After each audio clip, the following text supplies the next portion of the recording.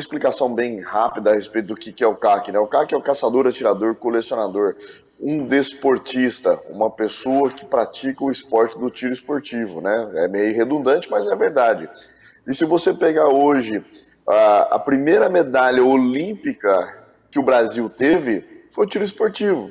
Lá em 1920, Guilherme Paraense é, ganhou né, conquistou a primeira medalha olímpica. Então, veja, um esporte que foi é, esquecido pelo tempo, maltratado e marginalizado, tão importante quanto.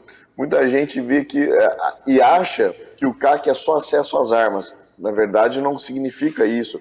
Significa, sim, valorização do desporto, valorização do esporte, onde pessoas que estão realmente imbuídas na prática do tiro esportivo de precisão, tá? buscam é, é, um, uma forma de praticar o esporte, assim como o futebol, assim como o tênis. A arma é apenas uma ferramenta. E a gente está é, com um ciclo de palestras falando sobre a importância de entender, a, a importância de se ter um esporte que hoje é marginalizado.